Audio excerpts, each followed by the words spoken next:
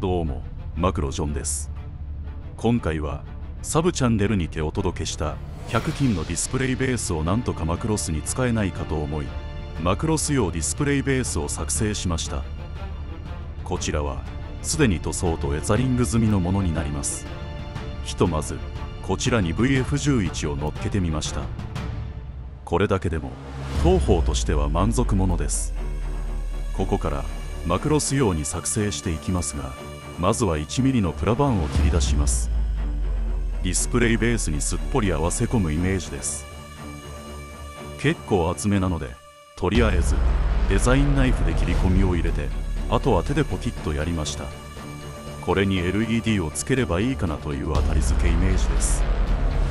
その後塗装していきます。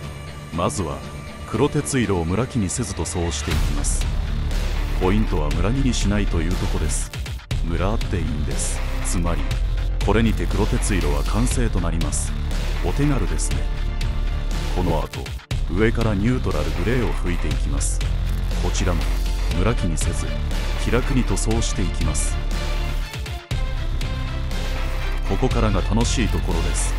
マスキングして滑走路のラインを思いのままに塗装していきます。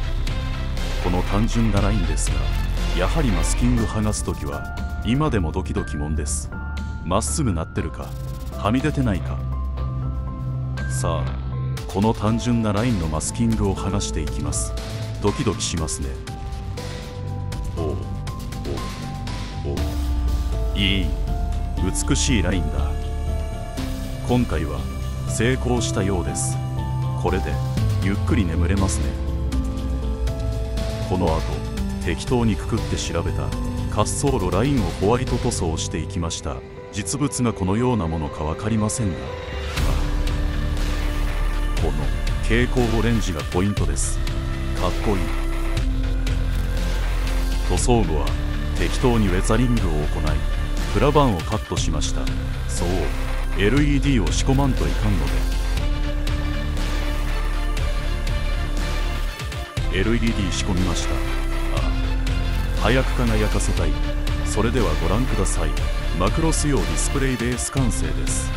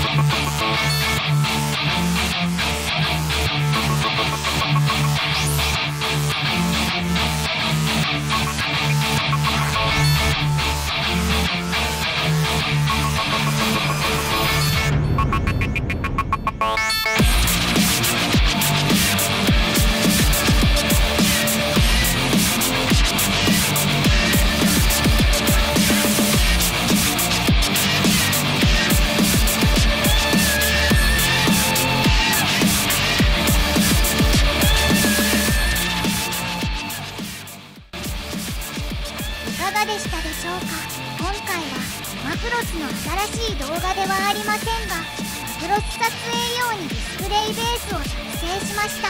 LED が最高に輝かしい出来栄えで今後の撮影が楽しみで仕方ありません。しかしながら現在新しいマクロスに着手していないので早く何かしら作りたいと思ってます。最後までご視聴ありがとうございました。